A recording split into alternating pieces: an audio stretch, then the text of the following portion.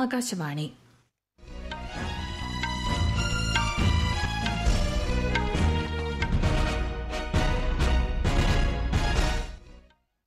നമസ്കാരം വാർത്തകൾ വായിക്കുന്നത് ലക്ഷ്മി ശ്രീവിജയ പ്രധാന വാർത്തകൾ ഒറ്റത്തവണ ഉപയോഗിക്കാവുന്ന പ്ലാസ്റ്റിക് നിരാകരിക്കാൻ ഇന്ത്യ പ്രതിജ്ഞാബദ്ധമാണെന്ന് വൺ ഓഷ്യൻ സമ്മേളനത്തിൽ പ്രധാനമന്ത്രി നരേന്ദ്രമോദി ഇന്തോ പസഫിക് മേഖലയിൽ സുരക്ഷയും അഭിവൃദ്ധിയും കൈവരിക്കാൻ ഒരുമിച്ച് പ്രവർത്തിക്കാൻ ക്വാഡ് വിദേശകാര്യ മന്ത്രിമാരുടെ യോഗത്തിൽ ധാരണ ഇന്ത്യയുടെ ആഭ്യന്തര വിഷയങ്ങളിൽ മറ്റ് രാജ്യങ്ങൾ പ്രസ്താവന നടത്തുന്നത് സ്വാഗതം ചെയ്യില്ലെന്ന് വിദേശകാര്യ മന്ത്രാലയം ആഭ്യന്തര കാര്യങ്ങൾ പരിഹരിക്കാൻ രാജ്യം പ്രാപ്തമെന്നും ഇന്ത്യ ഉത്തരാഖണ്ഡിലും ഗോവയിലും തെരഞ്ഞെടുപ്പ് പ്രചാരണം ഇന്ന് അവസാനിക്കും ഉത്തർപ്രദേശിൽ രണ്ടാം ഘട്ട വോട്ടെടുപ്പും തിങ്കളാഴ്ച രാജ്യത്ത് പ്രതിദിന കോവിഡ് നിരക്കിൽ കുറവ് തുടരുന്നു രോഗമുക്തി നിരക്ക് ശതമാനമായി ഉയർന്നു ഇന്ത്യ ന്യൂസിലൻഡ് വനിതാ ക്രിക്കറ്റ് പരമ്പരയിലെ ആദ്യ ഏകദിനത്തിൽ ന്യൂസിലൻഡിന് ജയം വാർത്തകൾ വിശദമായി ഒറ്റത്തവണ ഉപയോഗിക്കുന്ന പ്ലാസ്റ്റിക് നിരാകരിക്കാൻ രാജ്യം പ്രതിജ്ഞാബദ്ധമാണെന്ന് പ്രധാനമന്ത്രി നരേന്ദ്രമോദി വൺ ഓഷൻ ഉച്ചകോടിയെ വെർച്വലായി അഭിസംബോധന ചെയ്യുകയായിരുന്നു അദ്ദേഹം തീരമേഖലയെ പ്ലാസ്റ്റിക് മാലിന്യമുക്തമാക്കാനായി രാജ്യവ്യാപകമായി അവബോധ പരിപാടി ഇന്ത്യ നടപ്പിലാക്കിയതായി പ്രധാനമന്ത്രി അറിയിച്ചു ഒറ്റത്തവണ പ്ലാസ്റ്റിക്കുകളുടെ ഉപയോഗം കുറയ്ക്കുന്നതിൽ ഫ്രാൻസിനൊപ്പം സഹകരിച്ച് പ്രവർത്തിക്കാൻ ശ്രീ മോദി സന്നദ്ധത പ്രകടിപ്പിച്ചു ഇന്ത്യയുടെ നാവിക സംസ്കാരത്തെ അടിവരയിട്ട പ്രധാനമന്ത്രി നമ്മുടെ സുരക്ഷയും അഭിവൃദ്ധിയും സമുദ്രങ്ങളുമായി ബന്ധപ്പെട്ടാണുള്ളതെന്നും ചൂണ്ടിക്കാട്ടി ഏറെക്കാലമായി കാത്തിരുന്ന Indo Pacific strategy Joe Biden ഭരണകൂടം പുറത്തിറക്കി മേഖലയിലെ വെല്ലുവിളികളെ നേരിടാനും ചൈനയിൽ നിന്നടക്കമുള്ള ഭീഷണികൾക്കെതിരെ ഒറ്റക്കെട്ടായി പൊരുതാനും കോവിഡ് കാലാവസ്ഥാ വ്യതിയാനം തുടങ്ങിയവയ്ക്കെതിരെ പോരാടാനും ലക്ഷ്യമിട്ടുകൊണ്ടുള്ളതാണ് പുതിയ നയം ഉഭയകക്ഷി താൽപര്യമുള്ള വിവിധ വിഷയങ്ങളിൽ ഇന്ത്യയുമായി സഹകരിച്ച് പ്രവർത്തിക്കുമെന്നും ഒരേ മനസ്സുള്ള പങ്കാളികൾ എന്ന നിലയിൽ മുന്നോട്ട് പോകുമെന്നും നയത്തിൽ വ്യക്തമാക്കുന്നു ഇന്തോ പസഫിക് മേഖലയിൽ സ്വതന്ത്ര വ്യാപാരവും സുരക്ഷിതത്വവും ഉറപ്പാക്കാനും പുതിയ കാഴ്ചപ്പാട് ലക്ഷ്യമിടുന്നു ഇന്തോ പസഫിക് മേഖലയിൽ സുരക്ഷയും അഭിവൃദ്ധിയും കൈവരിക്കാനും അന്താരാഷ്ട്ര നിയമത്തിൽ അധിഷ്ഠിതമായ സ്വതന്ത്ര മേഖല സൃഷ്ടിക്കാനും പ്രതിജ്ഞാബദ്ധമാണെന്ന് ക്വാഡ് വിദേശകാര്യ മന്ത്രിമാർ സംയുക്ത പ്രസ്താവനയിൽ വ്യക്തമാക്കി ഇന്ത്യൻ വിദേശകാര്യമന്ത്രി ഡോക്ടർ എസ് ജയശങ്കറിന് പുറമെ യു എസ് ഓസ്ട്രേലിയ ജപ്പാൻ വിദേശകാര്യമന്ത്രിമാരും യോഗത്തിൽ പങ്കെടുത്തു മുംബൈ പഥാൻകോട്ട് ഭീകരാക്രമണങ്ങളെയും യോഗം അപലപിച്ചു മറ്റ് രാജ്യങ്ങളെ ആക്രമിക്കാനുള്ള ഇടമായോ തീവ്രവാദ സംഘടനകൾക്കുള്ള സുരക്ഷിത ഇടത്താവളമായോ അഫ്ഗാനിസ്ഥാൻ ഉപയോഗിക്കാൻ പാടില്ല എന്ന് വ്യക്തമാക്കുന്ന ഐക്യരാഷ്ട്രസഭ രക്ഷാസമിതിയുടെ പ്രമേയത്തെ നേതാക്കൾ പിന്തുണച്ചു ഇന്ത്യയുടെ ആഭ്യന്തര വിഷയങ്ങളെക്കുറിച്ച് മറ്റു രാജ്യങ്ങൾ പരാമർശം നടത്തുന്നത് സ്വാഗതം ചെയ്യില്ലെന്ന് വിദേശകാര്യ മന്ത്രാലയം കർണാടകയിലെ ചില വിദ്യാഭ്യാസ സ്ഥാപനങ്ങളിലെ വസ്ത്രധാരണ മാനദണ്ഡങ്ങൾ സംബന്ധിച്ച വിഷയത്തിൽ ചില രാജ്യങ്ങൾ പ്രസ്താവനകൾ പുറത്തിറക്കിയ സാഹചര്യത്തിലാണ് ഇന്ത്യയുടെ പ്രതികരണം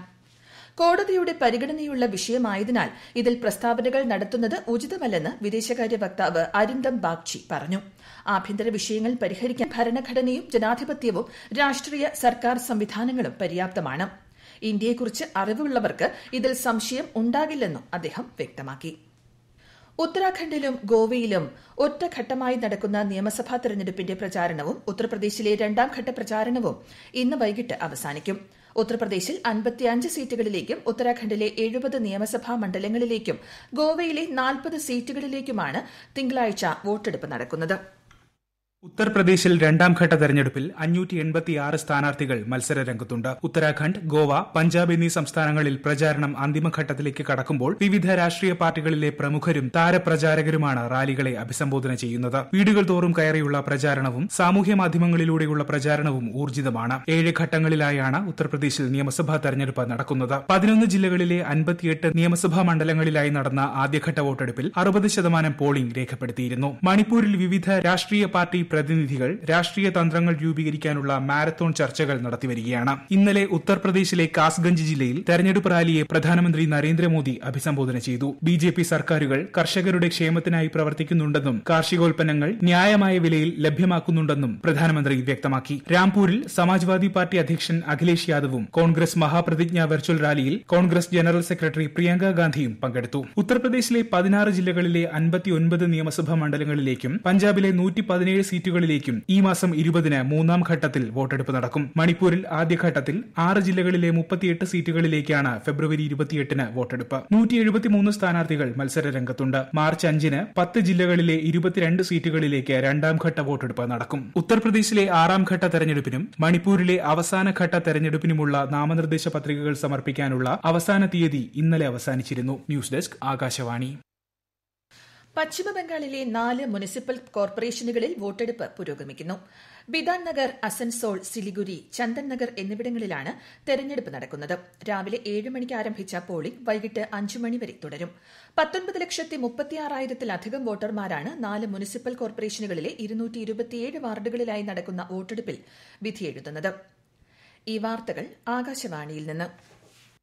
കൊറോണ ആശങ്കയല്ല ജാഗ്രതയാണ് വേണ്ടത് നിർബന്ധമായും മാസ്ക് ധരിക്കുക സാനിറ്റൈസർ ഉപയോഗിക്കുക സാമൂഹിക അകലം പാലിക്കുക പൊതു ഇടങ്ങളിൽ ഇരട്ട മാസ്ക് ശീലമാക്കുക ലഭ്യമാകുന്ന ആദ്യ അവസരത്തിൽ തന്നെ വാക്സിൻ സ്വീകരിക്കുക കൊറോണയെ സംബന്ധിച്ച വിവരങ്ങൾക്ക് ആരോഗ്യ മന്ത്രാലയത്തിന്റെ ഒന്ന് പൂജ്യം ഏഴ് അഞ്ച് സംസ്ഥാന ആരോഗ്യ വകുപ്പിന്റെ പൂജ്യം നാല് ഏഴ് ഒന്ന് രണ്ട് അഞ്ച് അഞ്ച് രണ്ട് പൂജ്യം അഞ്ച് ആറ് ദിശയുടെ ഒന്ന് പൂജ്യം അഞ്ച് ആറ് എന്നീ നമ്പറുകളിൽ ബന്ധപ്പെടാം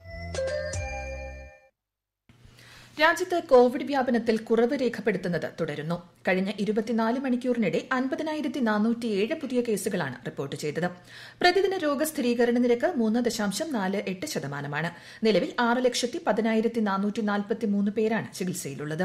ഇന്നലെ എണ്ണൂറ്റി നാല് പേർ കൂടി മരിച്ചതോടെ ആകെ മരണസംഖ്യ അഞ്ച് ലക്ഷത്തി ഏഴായിരത്തി തൊള്ളായിരത്തി എൺപത്തി ഒന്നായി രോഗമുക്തി നിരക്ക് തൊണ്ണൂറ്റിയേഴ് ദശാംശം മൂന്ന് ഏഴ് ശതമാനമായി ഉയർന്നിട്ടുണ്ട്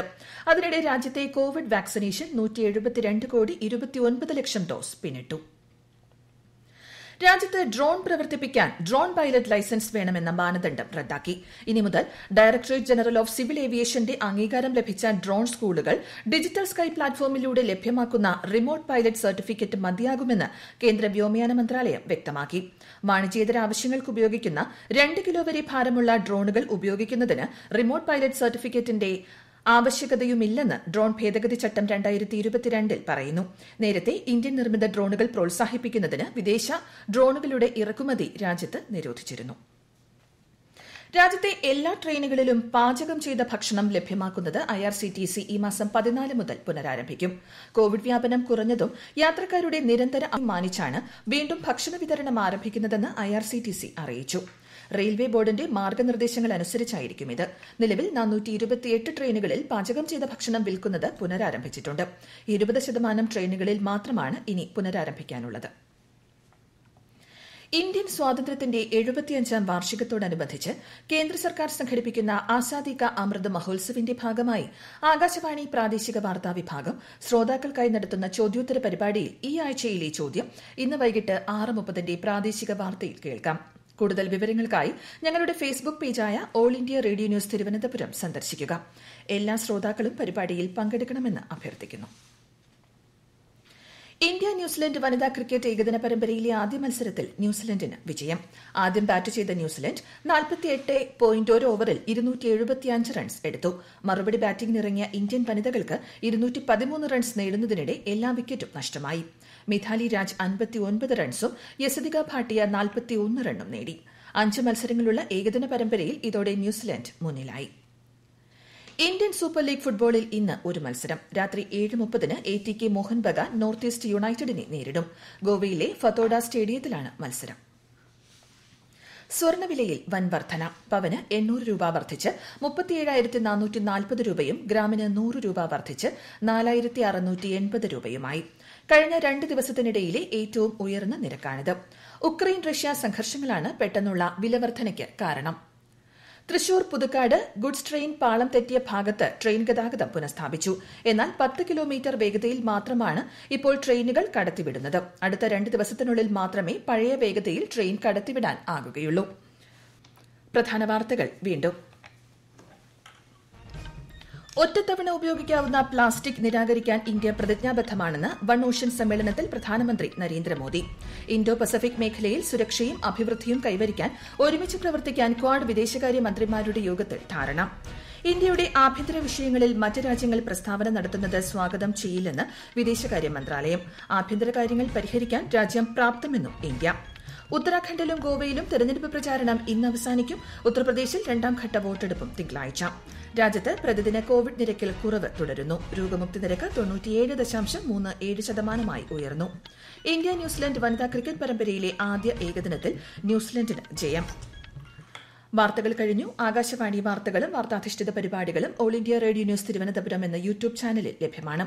കൂടുതൽ വാർത്തകൾക്കായി at all India radio news Thiruvananthapuram എന്ന ഫേസ്ബുക്ക് പേജും at A R news underscore T എന്ന ട്വിറ്റർ ഹാൻഡിലും സന്ദർശിക്കാം അടുത്ത വാർത്താ പ്രക്ഷേപണം വൈകിട്ട് ആറ് മുപ്പതിന്